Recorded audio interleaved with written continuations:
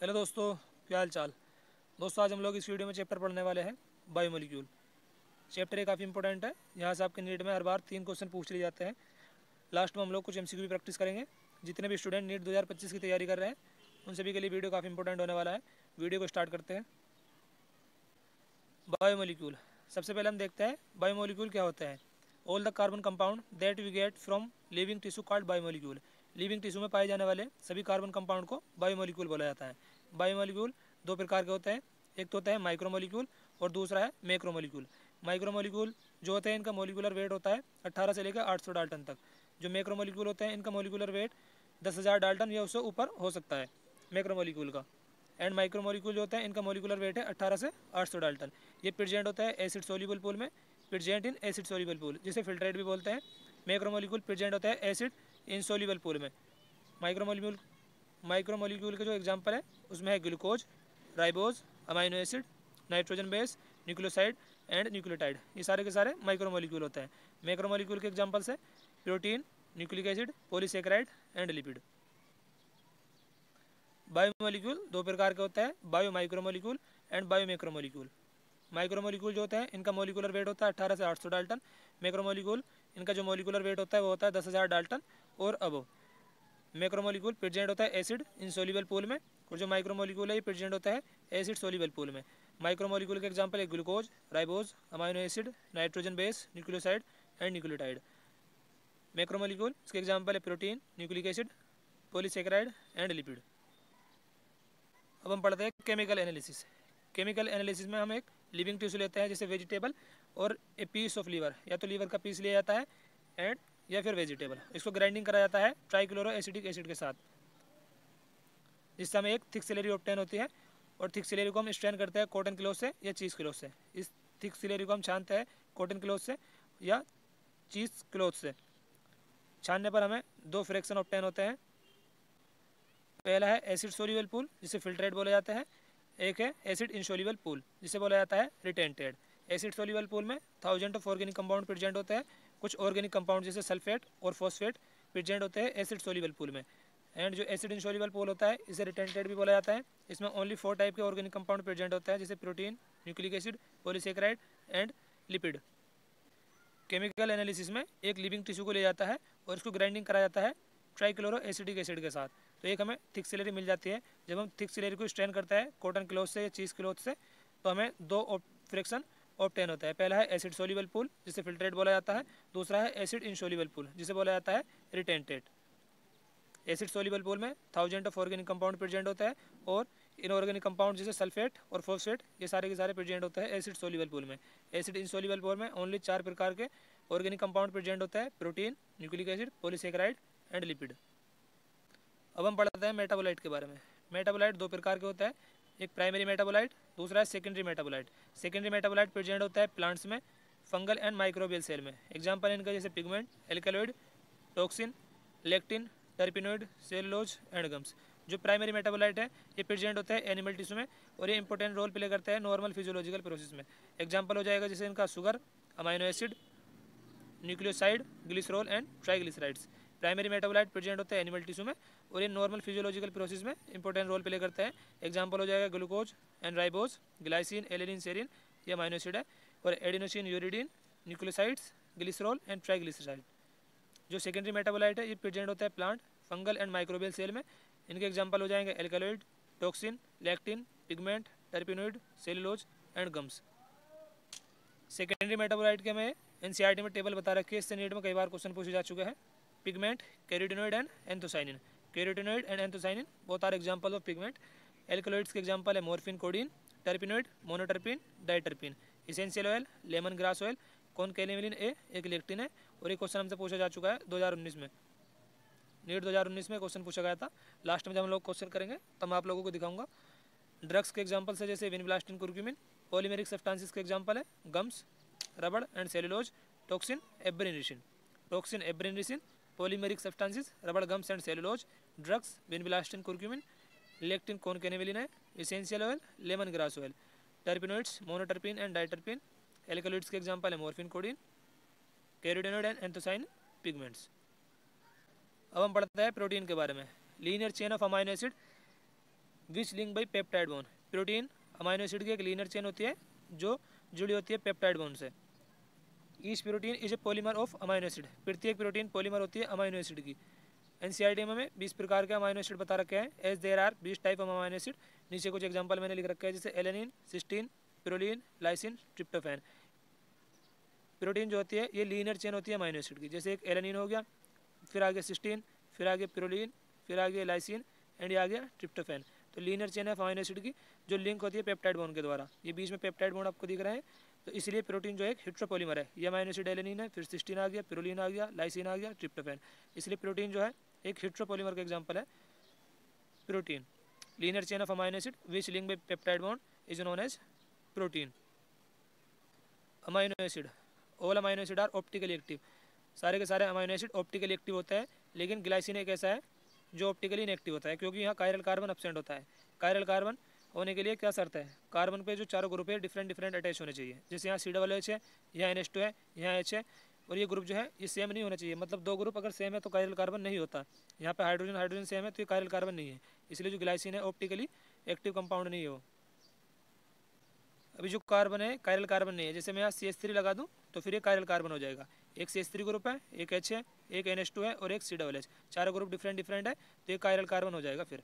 लेकिन अभी जो है ग्लाइसिन के स्ट्रक्चर में। हाइड्रोजन हाइड्रोजन दो सेम ग्रुप है तो इसलिए कायरल कार्बन नहीं है। हम देखते हैं structure of amino acid amino acid की स्ट्रक्चर में एक अमाइनो ग्रुप होता है एन ग्रुप और एक एसिडी ग्रुप होता है C double H group structure में दिख रहे होंगे, एक अमाइनो ग्रुप एक एसिडी ग्रुप एक हाइड्रोजन होता है, और एक वेरिएबल आर ग्रुप होता है ऊपर। अगर जो वेरिएबल आर है, ये एच है तो स्ट्रक्चर जो बनेगी, ये अमाइनो एसिड होता है ग्लाइसिन अगर वेरिएबल आर ग्रुप है सी एस थ्री तो जो अमाइनो एसिड है, उसका नाम हो जाएगा एलिनिन अगर सी एच टू एच है तो जो अमाइनो एसिड है, उसका नाम हो जाएगा सेरिन अमाइनो एसिड के स्ट्रक्चर में एक अमीनो ग्रुप होता है एन एच टू एक एसिड ग्रुप होता है, एक हाइड्रोजन होता है और एक variable R group variable R group अगर यहाँ पे एच होगा तो स्ट्रक्चर बन जाएगी ग्लाइसिन की। सी एच थ्री लगा देंगे तो alanine and C H two H तो ये बन जाएगा serine N C R T में हमें बीस प्रकार का अमाइनो एसिड बना रखे है, जिनसे प्रोटीन का निर्माण होता है। According to N C R T there are बीस type of amino acid that make up protein. कुछ होता है इसेंशियल अमाइनो एसिड कुछ होता है नॉन इसेंशियल अमाइनो एसिड जो नॉन इसेंशियल होता है, इनको हमारी बॉडी बना लेती है और जो इसेंशियल अमाइनो एसिड होता है, इनको हमारी बॉडी सिंथेसाइज नहीं कर पाती। Cannot be synthesise in our body इसलिए हमें डाइट के थ्रू सप्लाई करने पड़ता है। Essential amino acid and non essential amino acid non essential amino acid ये हमारी बॉडी बना लेती है। एग्ज़ाम्पल हो जाएँगे इनका glycine alanine glutamic acid aspartic acid लेकिन जो इसेंशियल अमाइनो एसिड होते हैं, ये हमारी बॉडी में सिंथेसाइज नहीं होता है, ये हमें अपने डाइट के रूप में लेने पड़ता है। एग्ज़ाम्पल हो जाएगा इसेंशियल का, जैसे phenylalanine valine phenylalanine valine threonine methionine isoleucine tryptophan histidine lysine leucine non essential amino acid के एग्ज़ाम्पल है glycine alanine glutamic acid aspartic acid and proline acidic amino acid के एग्जांपल है glutamic acid aspartic acid basic amino acid histidine arginine lysine neutral amino acid glycine alanine valine leucine isoleucine basic amino acid से question पूछा जा चुका है NEET 2020 में। Neutral के हैं example glycine alanine valine leucine isoleucine alcoholic amino acid serine threonine sulphur containing amino acid cysteine and methionine aromatic amino acid के example है टायरोजिन ट्रिप्टोफैन फिनाइलिन एक बार और देखते हैं इन सभी को। एसिडिक अमाइनो एसिड के एग्जांपल है ग्लूटामिक एसिड एस्पार्टिक एसिड नाम में एसिड एसिड आ रहा है। तो इसमें कोई कन्फ्यूज़न होने की नहीं एसिडिक अमाइनो एसिड में। बेसिक का एग्ज़ाम्पल है हिस्टिडीन अर्जिनिन लाइसिन क्वेश्चन पूछा जा चुका है बेसिक से। अभी मैं आप लोगों को दिखाऊँगा लास्ट में जब हम क्वेश्चन प्रैक्टिस करेंगे। Neutral amino acid glycine alanine valine leucine isoleucine alcoholic amino acid serine threonine sulphur containing cysteine methionine aromatic के एग्जांपल है टायरोजिन ट्रिप्टोफैन फिनाइल एलिनिन अब हम लोग पढ़ते हैं लिपिड के बारे में। ग्लिसरॉल एग्जांपल है सिंपल लिपिड का। और ग्लिसरॉल की स्ट्रक्चर होती है C H two O H C H O H C H two O H तीन ओ एच ग्रुप प्रेजेंट है, इसलिए हो जाएगा ट्राईहाइड्रोक्सी तीन कार्बन है तो प्रोप, और सिंगल बॉन्ड से अटैच है तो प्रोपेन तो ग्लिसरॉल का नाम ही है ट्राईहाइड्रोक्सी प्रोपेन स्ट्रक्चर होती है C H two H C H O H C H two H तीन ओ एच ग्रुप प्रेजेंट है तो ट्राईहाइड्रोक्सी तीन कार्बन है तो प्रोप सिंगल बॉन्ड से अटैच है तो N phospholipid phosphorus containing lipid होते हैं, पाए जाते हैं सेल मेम्ब्रेन में। एग्ज़ाम्पल इसका, lecithin. Fatty acid fatty acid दो प्रकार के होते हैं saturated and unsaturated saturated fatty acid जो होते हैं, इनके कार्बन कार्बन चेन में सिंगल बॉन्ड प्रेजेंट होता है डबल बॉन्ड एब्सेंट होता है इनके कार्बन कार्बन चेन में. जो अनसेचुरेटेड फैटी एसिड होते हैं, इनके कार्बन चेन में डबल बॉन्ड प्रेजेंट होता है. सेचुरेटेड फैटी एसिड का एग्ज़ाम्पल है palmitic acid and arachidonic acid ये एग्ज़ाम्पल है अनसेचुरेटेड फैटी एसिड का फैटी एसिड में एक कार्बोक्सिलिक ग्रुप प्रेजेंट होता है, जो अटैच होता है आर ग्रुप से. हमें दिख रहा है एच कार्बोक्सिलिक ग्रुप जो अटैच है आर ग्रुप से। आर ग्रुप में एक से लेकर उन्नीस तक कार्बन हो सकता है। एग्ज़ाम्पल हमें बता रखा है palmitic acid and arachidonic acid palmitic acid 16 carbon compound होता है including carboxylic carbon arachidonic 20 carbon atom होते हैं इंक्लूडिंग द कार्बोक्सिलिक कार्बन जैसे पालमेटिक एसिड है, ये 16 कार्बन होता है इसमें। आर ग्रुप जो होता है, एक से लेकर उन्नीस कार्बन हो सकता है उसमें। जैसे मैं आप लोगों को बता रहा हूँ, ये सी है और ये सी फिर सी करते करते अगर हम ऐसे चले एंड टाइम्स तक और लास्ट में सी डबल एच लगा दें। तो यहाँ पर जो हमें कंपाउंड मिलता है, इसका नाम है पालमेटिक एसिड में सोलह कार्बन होता है। जैसे ये हो गया C H three single bond C H two को लगा दो चौदह बार। तो चौदह कार्बन तो ये हो जाएँगे, एक सी एच थ्री का लास्ट में लगा दो सी डबल एच ये मतलब है इसका सोलह कार्बन इंक्लूडिंग कार्बोक्सिलिक एटम एक और चौदह ये हो जाएँगे, और एक ये हो जाएगा। तो चौदह, पंद्रह, सोलह हो जाएँगे पालमेटिक एसिड में कार्बन अरेकिडोनिक एसिड बीस carbon atom including the carboxy carbon carbohydrate polyhydroxy aldehyde और कीटोन को बोला जाता है कार्बोहाइड्रेट इन्हें सेक्राइड भी बोला जाता है.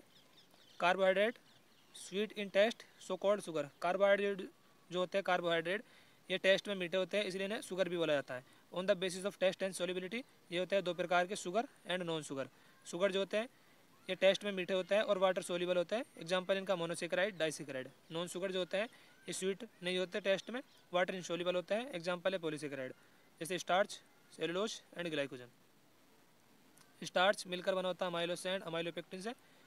अमाइलोज पंद्रह से बीस परसेंट है स्टार्च का एंड जो amylopectin eighty five percent of starch starch made up of amylose and amylopectin starch बना होता है अमाइलोज से एंड अमाइलोपेक्टिन से। अमाइलोज स्टार्च का पंद्रह से बीस परसेंट भाग बनाता है। बाकी जो भी है वो amylopectin eighty five percent of starch यही बनाता है अमाइलोपेक्टिन ग्लाइकोजन इसको एनिमल स्टार्च भी बोला जाता है। इसकी स्ट्रक्चर सिमिलर होती है अमाइलोपेक्टिन के। ग्लाइकोजन प्रेजेंट होता है लीवर में मसल में एंड ब्रेन में। सेलुलोज एक्सक्लूसिवली प्लांट में पाया जाता है सेलुलोज सेलुलोज प्लांट की सेल वॉल का निर्माण करता है।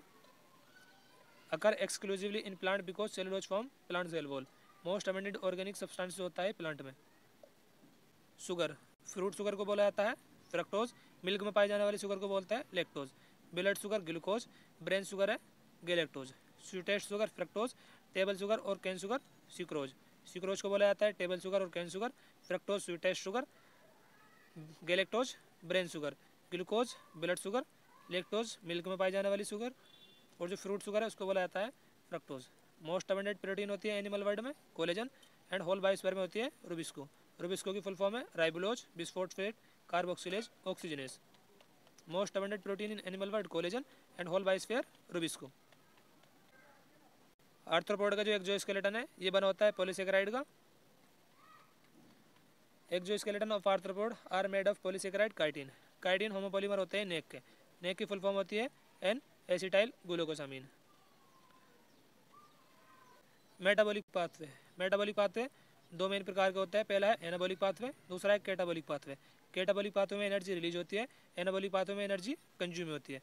एनाबॉलिक पाथवे की एग्जांपल है जैसे photosynthesis and assembly of protein from amino acid amino acid से प्रोटीन का निर्माण होना, इस प्रोसेस में भी एनर्जी कंज्यूम होती है एंड फोटोसिंथेसिस में भी एनर्जी कंज्यूम होती है। कैटाबॉलिक पाथवे इसमें एनर्जी रिलीज़ होती है।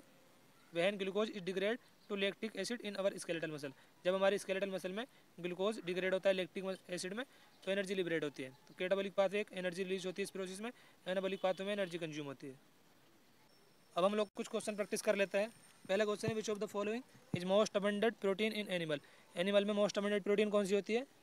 ऑप्शन है haemoglobin option B collagen insulin या फिर इलेक्ट्रिन तो इसमें अपना आंसर हो जाएगा collagen most abundant protein in animal world collagen. अगर होल बाइस फेयर पूछता तो फिर आंसर हो जाता है रूबिस को। क्वेश्चन पूछा जा चुका है नीट दो में।